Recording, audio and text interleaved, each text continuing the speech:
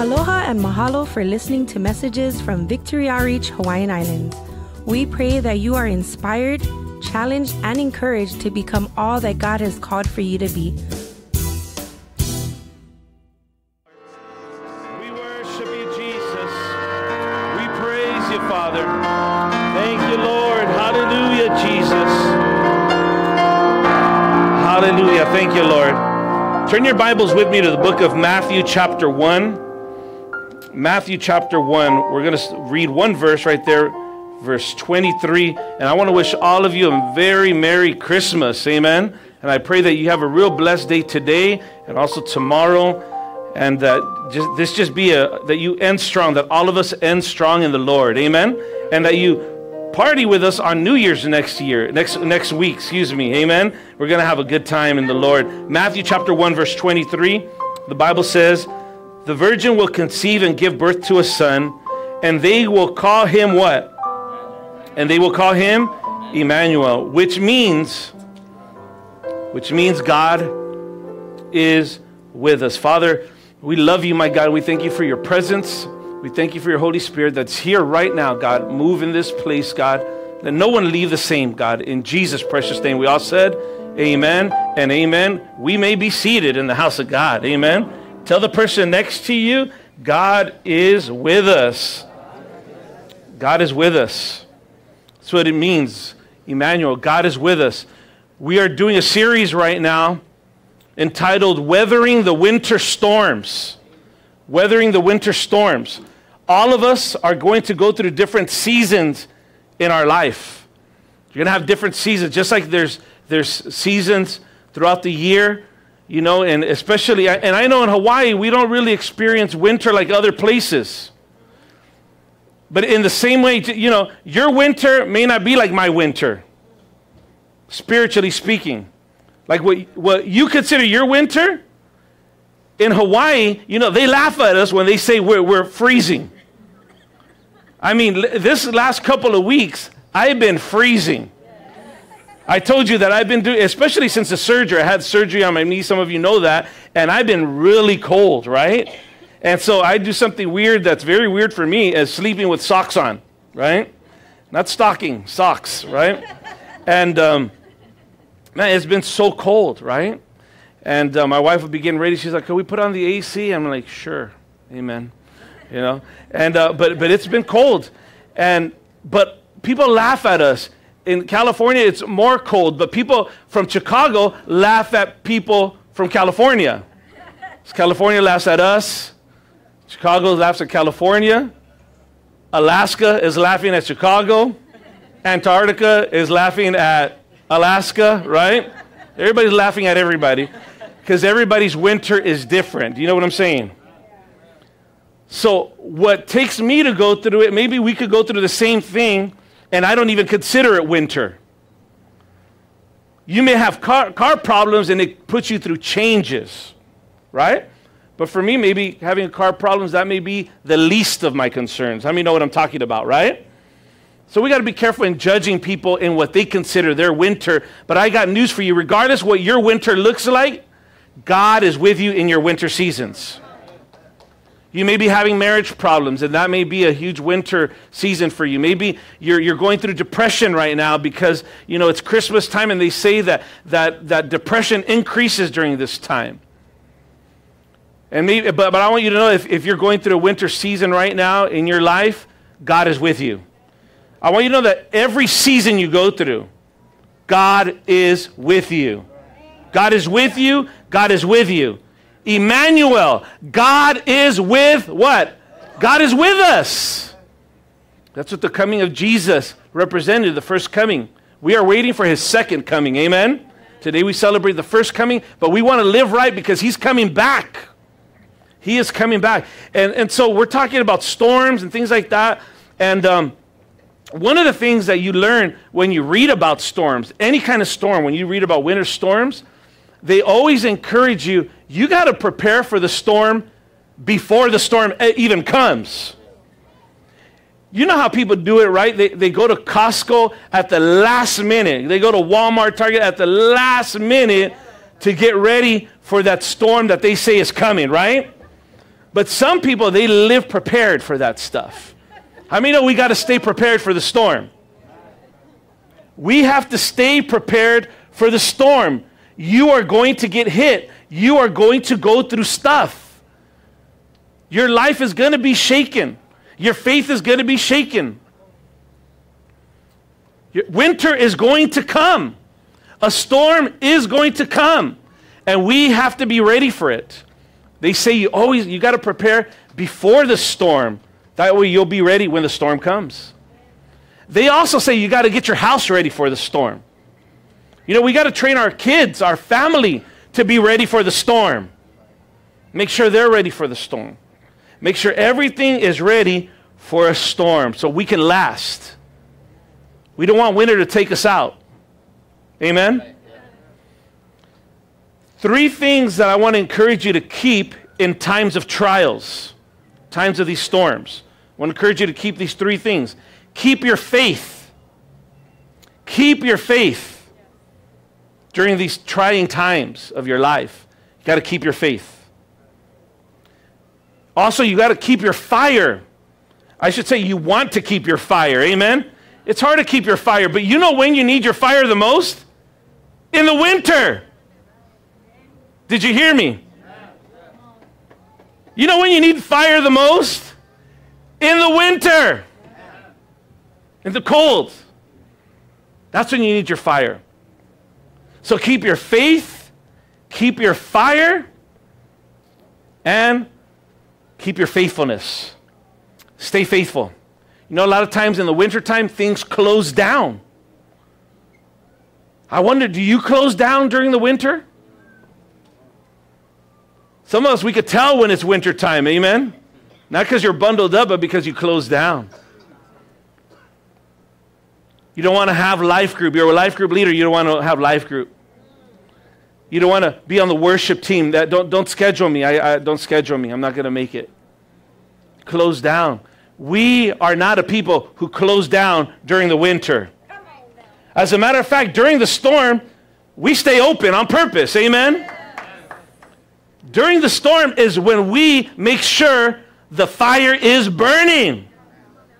We make sure. So we stay faithful. Someone say, stay faithful. This year, I want to encourage you when you go through trials, keep your faith in God. Don't lose your faith in the Lord. Don't let, you, you know, winter time, trying times, those moments to, to, to cause you to be defeated, but let your faith remain strong during those times. Let your fire you know, stay lit for God and also stay faithful to whatever your post is that where God has you. Amen? It matters how you react during trials. How we react to trials. God is faithful in every season of our life. Amen? Now, you have a choice during trials. You have a choice during trials what you're going to do. What are you going to do? What you going to do? What are you going to do during trials? You could do one of these things. You could leave. Some of us, we go through trials and we leave. We leave the church or we leave the Lord. Some of you, uh, get, some get defended say, I didn't leave the Lord, I just left the church. Oh, you sound in the flesh when you're saying that, by the way. But some people react that way. I want to encourage you not to react that way. Maybe, maybe at some point this year, we reacted that way. Could I be honest with you? I've reacted that way at, at certain points in my Christian. I mean, I haven't acted like that in many, many, many, many, many years. But, but I'll be lying to you if I, if I said that I've never reacted that way. I have gotten hit and then missed church. Oh, my God. But I had to learn how to stay faithful through trials and not leave. Not leave my wife during trials. Not leave church during trials. Not leave God during trials. We got we got to stick it out. We got to learn how to, how to continue to go forward and not leave. Not leave God. Amen? So much the Bible talks about in regards to, you know, leaving the Lord. The Bible says in the book of Luke, chapter 9, verse 62, Luke 9 62, it says, it says, Jesus said to him, No one who puts his hand to the plow and looks back is fit for the kingdom of God. See, don't leave. You know, when you leave the Lord, you know, your protection is not as much there anymore. Your connection affects your protection. It's dangerous to be out there in the world. It is a dangerous thing to be out there to leave, leave the Lord. The Bible says in the book of Jeremiah, chapter 3, verse 12, it says, Go and proclaim these words towards the north and say, Return, faithful Israel, declares the Lord. Return. And that's what God is telling us this morning. Return. If you've left God, today is your day.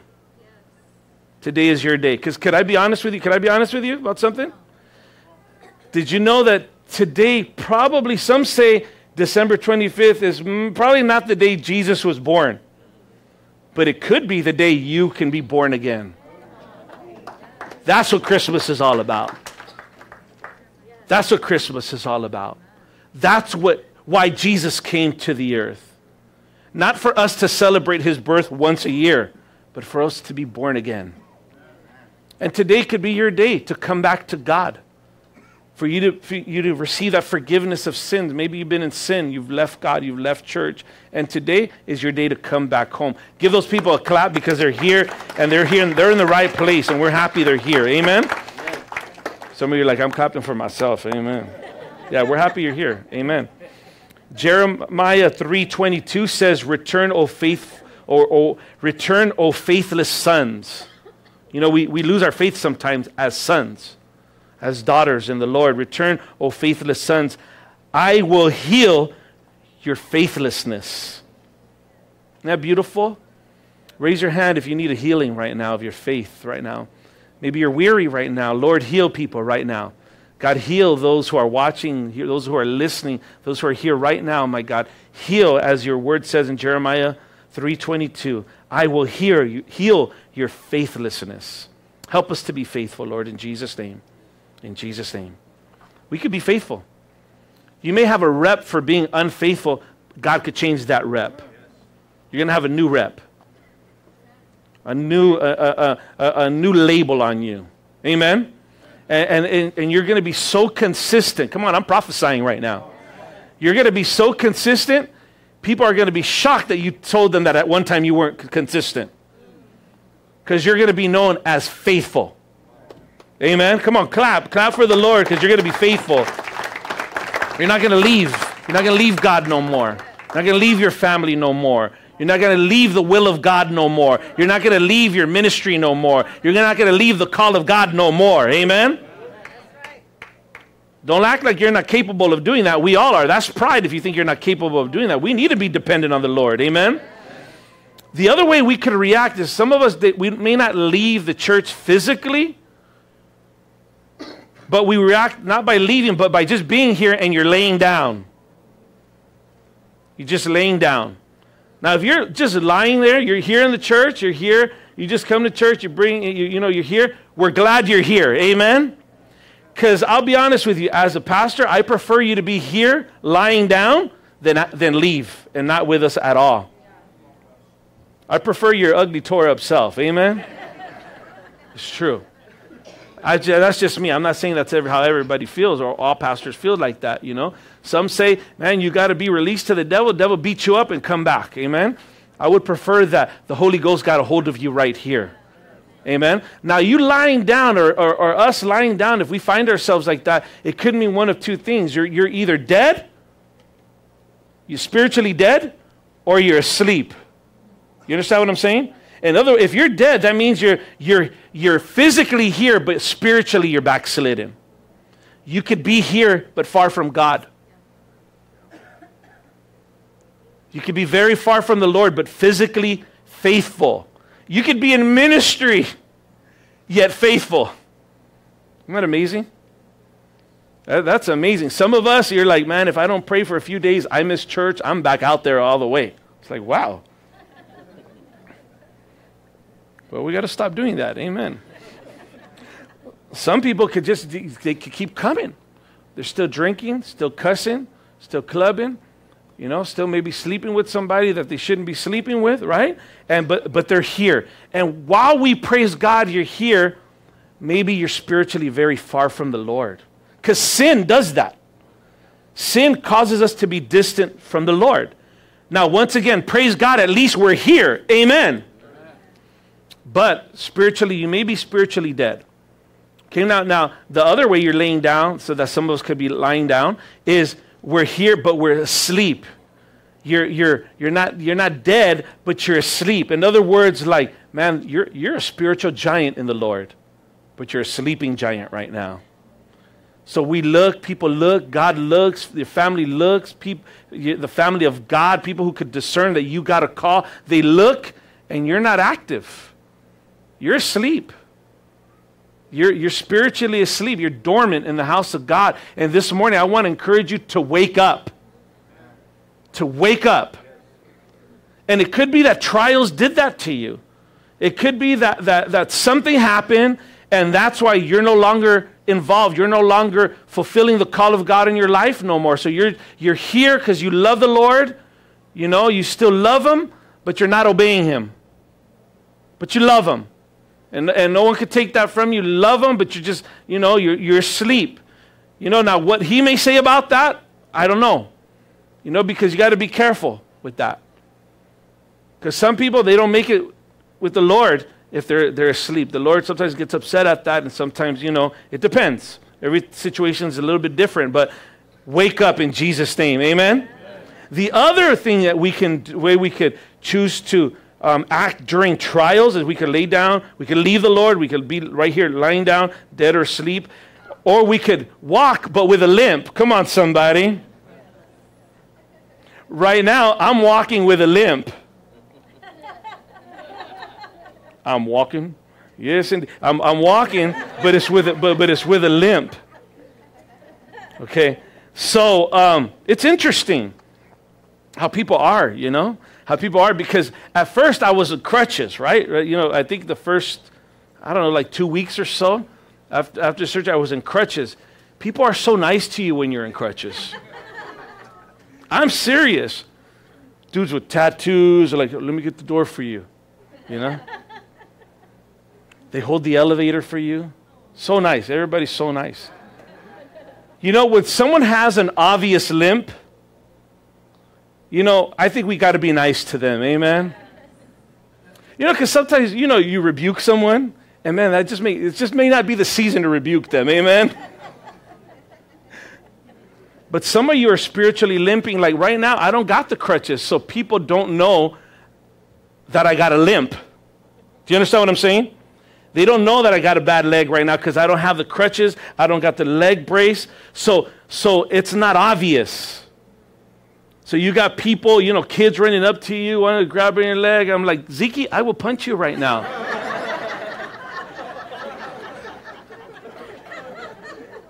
I'm just kidding. I would, I'll punch him anytime, and it doesn't have to. Say. Me and Zeke have thrown down before.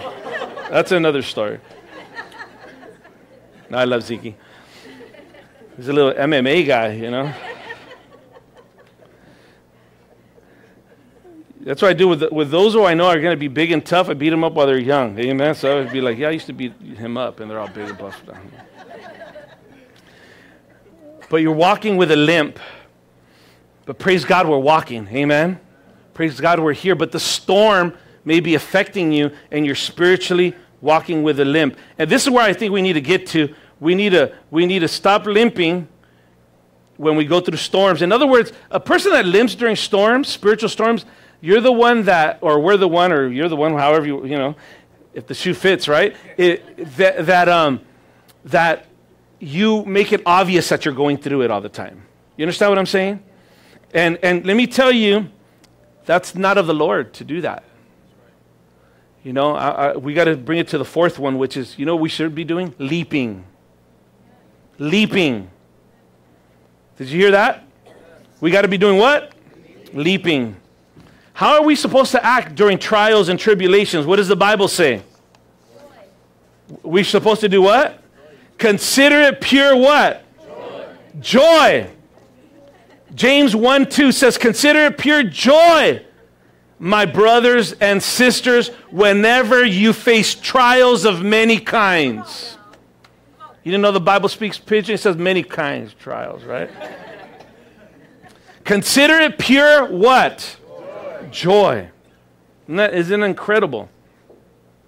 He's saying you should be leaping when you go through stuff. You should keep praising when you go through stuff. You should keep on worshiping when you go through stuff. You got to keep your hands lifted. If there's any time that you need to keep lifting your, those hands and clapping those hands and dancing in the spirit and jumping in the spirit and turning in the spirit, it's when you're going through it. It's when you're going through trials and tribulations. That's what the Bible says. That means if we're not acting like that, there's a sense of disobedience or there's, there's an obvious sign that we need to grow. We need to grow. Wave at me if you feel you, you know you need to grow. Amen. I need to grow. We all need to grow. Amen. I want to encourage you not to no longer walk around limping, in other words, in defeat, you know, with a defeated demeanor, you know, where, where, where what you're going through is obviously affecting you, where you're walking around all hurt. I'm not trying to be insensitive. I'm trying to teach you what the Bible tells us to do. He says, consider it pure joy. Yes. He said that, not me. Consider it pure joy, my brothers and sisters, whenever you face trials of many kinds, because you know that the testing of your faith, see, your faith is being tested. The testing of your faith produces perseverance. You got to learn to persevere. A lot of us, we don't know how to persevere. That's why we go back to getting high. That's why we break up. That's why we do those type of things because we don't know how to persevere. That's why we quit because we don't know how to persevere. You could blame any, everyone you want, but we got to learn how to persevere. We got to persevere. It says, let perseverance, verse 4 of James 1, it says, let perseverance finish its work so that you may be mature. So that you may be mature and complete, not lacking anything. Not lacking anything. How do you re- react during winter times? You know, in closing, I want to I wanna, I wanna tell you a little bit about Mary, Jesus' mother. He, uh, she, um, she, she felt troubled, you know. She was, was, she was going through a troubling time when, when the angel of the Lord appeared to her during, during the, the, her, um, what she conceived was of, of uh, what she uh, was spoken to uh, uh, by an angel. You know, she was, the Bible says she was troubled about it. She was troubled you know, it, it affected her relationship. She was about to get married with Joseph, right? God had to, you know, send an angel to minister to Joseph through a dream. You know, you see all these different people, and you see the way Mary even reacted and the way Mary acted during that season. And you learn a lot from Mary. And a couple of lessons right before I close, just four things real quick in regards to just some lessons from Mary when she went through that time. Number one, we need to start fearing God again. Excuse me. Number one, I want you to write this actually. Lay your life down for a greater good. Lay your life down for a greater good. The lesson from Mary is lay your life down for a greater good. Mary, Mary, you know, was obedient, and we got to learn to be obedient your obedience, our obedience, will save lives. Mary's obedience, even though it, it, was going to, you know, cause some inconvenience, if you will, on her life, but but she did it and, and she was willing to for the greater good. Are you willing to obey the Lord for the greater good? So, number one, one of the lessons we learned from Mary is lay your life down for the greater good. Secondly, we learned this learn to, the, to respond right to the Lord. Learn to respond right to the Lord. She responded correctly. Her, her, her answer ultimately was a yes. Your yes will save lives. Not only will your, your, your, will your obedience save lives, but your yes, which is similar, your yes saves lives. When God asks you to do something, you got to say what? You got to say yes. When we say no, less lives are being saved. Do you understand the, the, the, the, the, the dilemma there? This is something major when we say no. When God wants you to be doing something for Him and we say no, when we say no, not now, when we're saying no and He wants us to do it, it affects the growth of the kingdom of God. It affects the amount of people that are reached for His honor and glory. So, the second thing we need to learn that we can learn from Mary is to learn to respond to the Lord right. We need to respond to God by saying, God, I'm your servant. I will do what you want me to do. That's what our response should be to God. God, I'm your servant. I will do what you want me to do. Can you say that with me? Come on, say that. Say, God, I'm your servant. I will do what you want me to do. See, that's the, that's the attitude that we should have. That was Mary's attitude. That was her response to God. In Luke chapter 1, verse 38, it says, I am the Lord's servant, Mary answered. May your word to me be fulfilled. Then the angel left. May your word to me be fulfilled. That's how we need to be. We need to say yes to the Lord. We need to obey the Lord. Thirdly, third lesson we learned from Mary is allow God to interrupt and inconvenience your life and your plans. Your life and your plans. Allow God to interrupt and inconvenience your life and your plans. Some of you are acting like if that's a rude, rude point, right? Because it sounds rude. That we're, we're insinuating that God is interrupting or that God is inconveniencing us. But the bottom line is a lot of us have plans. And we need to surrender our plans to the Lord. And we need to say, Not my will, but thy will be done. His plans are better than our plans. His thoughts are higher than our thoughts. His ways are better than our ways. And so we need to, we need to allow God to interrupt and inconvenience our life and our plans. Will you let Him? I know you got plans. I know you got plans, but will you let them interrupt? Maybe some of you are making certain decisions right now, but will you let them interrupt that? So you got certain plans that you got, but will you let them interrupt that? Mary did. Mary had plans. You know, she had her, she had this guy, she, Joseph, she was betrothed to, and then here comes God saying, Hey, I, I need you to be used as a vessel. Mary was willing to be a vessel. Will you be willing to do that? See, your sacrifice, because that was a sacrifice she had to make, your sacrifice will save lives. If you live your life in a way where you're sacrificing for others to be, uh, for others to be saved, people are getting saved through your sacrifice. No, you may not gain much, you know, on this earth through it, but but but you gain by by heaven gaining. Fourth and lastly, I'm asking the musicians to make their way that we learn from Mary is don't let fear stop you. Don't let fear stop you. I want to encourage you not to let fear stop you.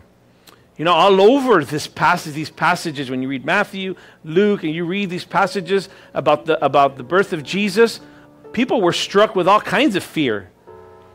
You know? John the Baptist's dad had fear. You know, um, Mary had some fear. Different people would have fear. Fear, the kind of fear that we need to have is the fear of God. You know, I don't think there's enough people today that fear God. Do you fear God? Do you fear the Lord? Because if we fear, feared God, we'd stay away from sin.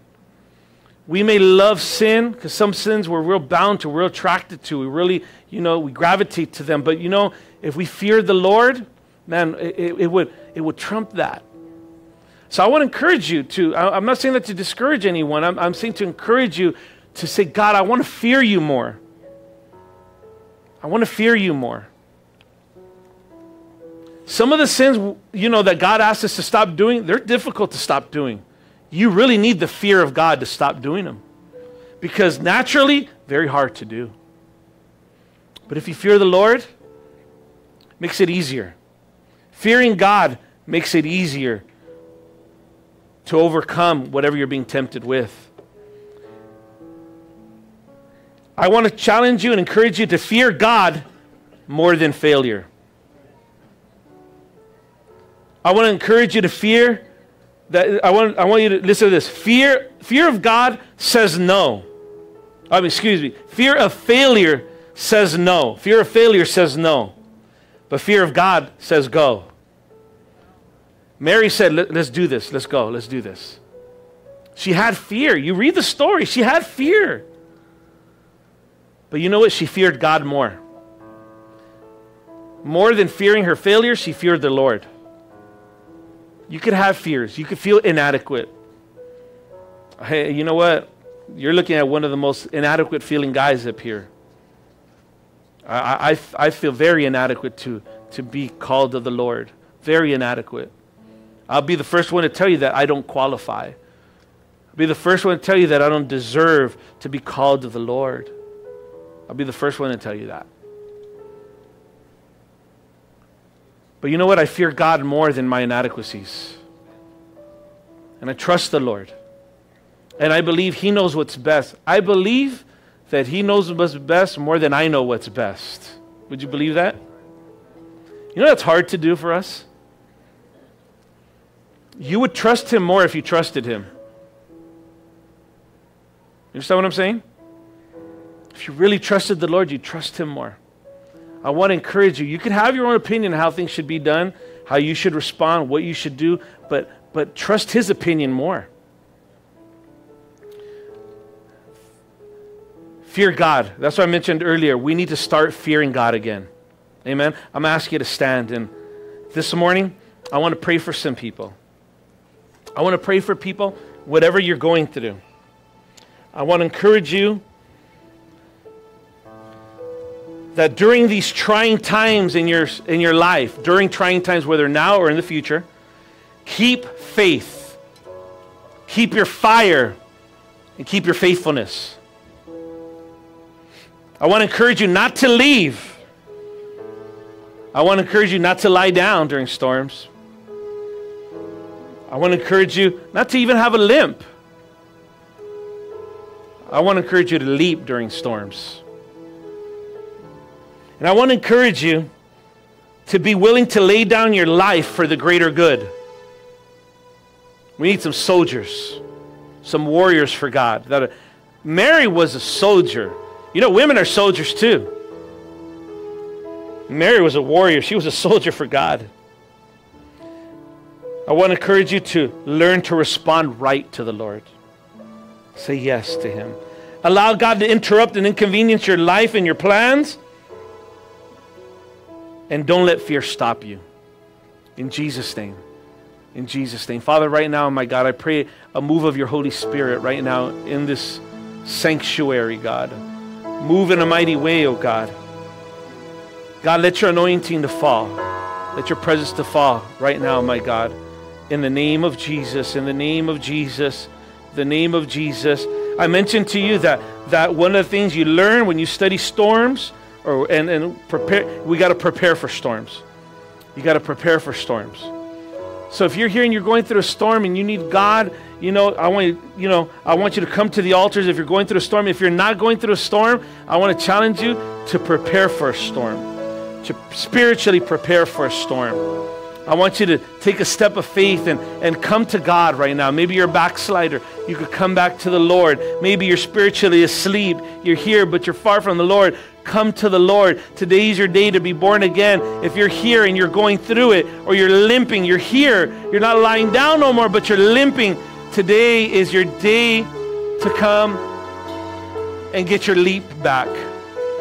You came limping, you're going to leave leaping. Come on. In the name of Jesus, come. Come to the altars. Come. Come. You need Jesus. You need more of God. You need the presence of the Lord. Come. Hallelujah, Jesus. Thank you, Lord.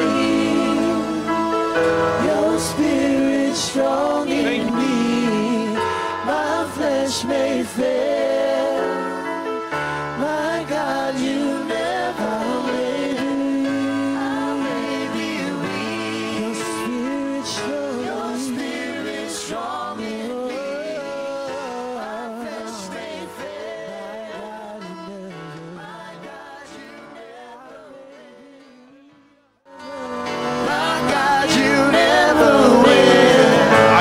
Could pull up uh, 1 Timothy chapter 1, verse 15, there's a famous saying, Jesus is the reason for the season. You heard that before, right?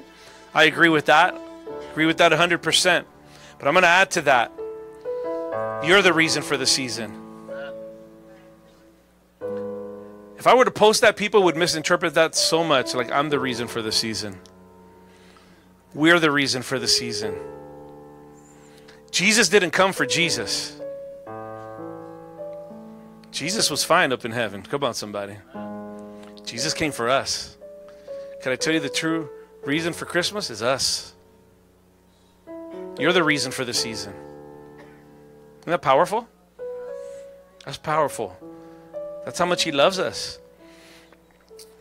Paul shared that same feeling. Look at in 1 Timothy chapter 1, verse 15. It says here, here is a trustworthy saying that deserves full acceptance. Here's a trustworthy saying that that deserves full acceptance. Christ Jesus came into the world to save sinners. How many thank God for that? Amen. Christ Jesus came to Christmas. That's Christmas right there. Christ Jesus came to the world to save sinners, and this is what Paul said of whom I am the worst. See the humility there? That's how we need to feel, man. Like, man, I don't even deserve Jesus. You know, man, I'm the worst sinner. That kind of humility. God loves humility. God hates pride. It's not like that. Next verse, please. Then it says, then it says, but for that very reason, what did he just finish saying? I'm the worst sinner. But for that very what? Reason. See, Paul was saying, I was the reason why he came. Paul was saying, because we were sinners is why he came. Isn't that powerful? Paul's saying, I'm the reason for the season. God loves us, man. God loves you so much, guys. God loves you so much. I know you want to quit on yourself. Don't quit on yourself. God's not quitting on you. God loves you. This is, you're, you're going to end the year strong in the Lord. I don't care how the, this year ended for you or how it started, you're going to end leaping in the Lord. Amen? You're going to end strong. It's going to be a new year for you. We're not just saying that, we believe that in Jesus' name. Amen? Praise the Lord. I want to congratulate Brother Kepa and Sister Megan. They got married yesterday. Love you, Keps. Love you, Megan. God bless you guys. And the tribe, they got a tribe. Five kids. Amen? And listen, it's a new beginning for them, it's a new beginning for you. How many, how many receive that right now that it's a new beginning? Amen? Some of you, you're, you're, you're, making, you're making a comeback. Amen? You're making a comeback in Jesus' name. Amen? Uh, I'm going to call Brother George if he could say a prayer for everybody right now. Amen? Thank you, Jesus. Close your eyes and bow your heads. in Jesus' name. Thank you, Lord. Praise the Lord. Thank you, Jesus. Excuse me, I'm a little broken this morning. Lord, I thank you. Thank you for every single person that's here. The young, the older, God, the moms and dads, the families, the marriages, the newly married, God, Lord. Our pastors, our leadership, the worship team, God, the teachers in the back, the sound people, God, the green room people, God, Lord, the ushers, security, everybody here. Oh, God, just like our pastor said, you love us so much. Amazing grace. How amazing is His grace. And we thank you, Lord. I pray that your hand be upon every person. I pray that we would, Lord, be so excited, God, to usher in, God, Lord Jesus, this beautiful season, Lord, and this new year coming, oh God. And Father, we pray that you cover every person here right now, Lord Jesus. God, lift up any burdens, lift up any cares, lift them up, God. Lord, I pray, God, Lord Jesus, my God, that they would sense and feel the very presence, the glory right now in the name of Jesus. Holy Spirit, Holy Spirit, have your way right now. Strengthen Strengthen every person, my God. Lord, move in the power of your spirit. Let your spirit tug. Let there be a tugging, Lord, a tugging in the heart, of Almighty God. Let there be, Lord, Father God, a prompting of the spirit, my God. A yearning of the spirit, Almighty God. Lord, cover your people, God. In the name of Jesus, in the name of Jesus, we love you, we praise you, we magnify your name. Hallelujah. Hallelujah. In Jesus' name. In Jesus' name. Hallelujah, Jesus. Thank you, Father. We worship you, Jesus. Worship the Lord. Everybody, worship the Lord. Come on, it's Christmas time right now. Worship with a smile right now. Worship and praise Him with a smile.